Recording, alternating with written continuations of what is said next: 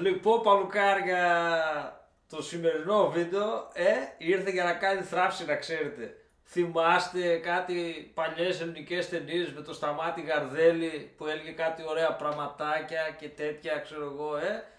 Ο ηθοποιός που όλα αγαπήσαμε εκείνα τα χρόνια κάποτε μια φορά και ένα καιρό. Ναι, ξαναχτύπησε δίνοντας συνεντεύξεις στη Face Κορδά και είπε πολλά και πικάντικα θέματα. Για πάμε να ρίξουμε μια ματιά. Σας.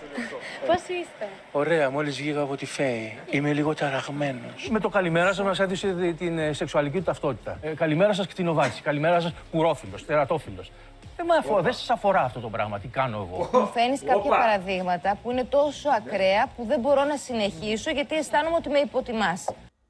Μπα, γιατί σε υποτιμάει. Θύχτηκες, ε; Δεν σε είδα να θίγησε με τους λιγνάδιδες και τους ε, τιάφτους πριν λίγο καιρό που βγαίνανε, ε. Δεν σε είδα να θίγησε. Γιατί παιδί μου, τι έγινε, ε. Θύχτηκες επειδή σε είπε κάτι ο μάστρος εδώ με το μουστάκι, δηλαδή τι. Δεν κατάλαβα. Για, ε, εγώ έχω την εντύπωση ότι είπε κι άλλα, τέλος πάντων δεν χρειάζεται να δούμε όλα, ας δούμε τα, τα κυριότερα. Για πες μας ε, γαρδέλη στα μάτια. Ότι δεν δε, δεν μας ενδιαφέρει η προσωπική, σεξουαλική, ο προσανατολισμός, ε, ε, ο σεξουαλικός του καθένα παρά μόνο το έργο που παράγει. Γιατί σαν πολιτικό, σαν καλλιτέχνης, σε ταυτατή μου το βγάζει από την αρχή. Έτσι. Καλημέρα σας. Είμαι, ας πούμε, ε, γεροντολάγνος. Τι σε ενδιαφέρει σαν να είμαι γεροντολάγνος; Τι μου το βγάζει από την αρχή, μου το κάνει σημαία; Και κάθε φορά ενοχλήσει με αυτό το πράγμα και αναπαράγεις αυτό. Μπα, δεν μου λες τα μάτια. Ε, από τέτοια ζημία ρε παιδί μου. Ε, καλά ρε, τόσα, τόσα λουλούδια έχεις στην κοινωνία να πούμε. Γεροντολάγνος. Μπρε, τι σκατά γάμο το πελά μου, δηλαδή.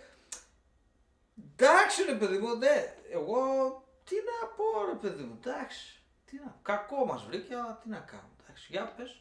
Με έχει στενοχωρήσει που είμαστε ένας λαός, που έχουμε μπει σε ένα διχασμό, που έχουμε μπει σε Α. μια εκ των ουκάνευ ε, ε, προβληματισμό Α. για το αν τα παιδιά και ο προσανατολισμός τους και αυτά. Δεν μας αφορούν αυτά. Μας αφορά το θέμα της επιβίωσης. Δεν με αφορά που πήγε ένας αρχαίος λαός στην Πάτρα να πάρει αυτόγραφο από την Ατζελίνα Τζολί και δεν πήγε να ψηφίσει. Αυτό με ενδιαφέρει. Αυτό με στενοχώρησε. Ότι να πάρουμε ε, ε, αυτόγραφο από την Ατζελίνα Τζολί. Και τι, τι σημαίνει Ατζελίνα Τζολί; Είναι μια ε, ηθοποιός του Hollywood η οποία ήρθε στην Ολυμπία.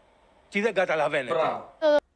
Τι δεν καταλαβαίνετε βρε ξόρκια. Όλοι, όλοι οι ηθοποιοί εξωτερικού, όλοι, όλοι, όλοι οι άνθρωποι από το εξωτερικό που είναι φίρμες και ξέρουν η ιστορία, όχι σαν εμάς τους ανιστόρητους, έτσι, ξέρουν η ιστορία, πηγαίνουν στους αρχαίους τόπους των Ελλήνων για να δούνε και να πάρουν μία γεύση από το μεγαλείο που άφησαν οι τότε άνθρωποι του πολιτισμού. Καταλάβατε; Αν δεν καταλάβατε, παιδιά έχουμε πρόβλημα. Και επειδή δεν μας αρέσουν τα προβλήματα, ε, βιβλιαράκι, διαβασματάκι και τα λέμε στο επόμενο βίντεο.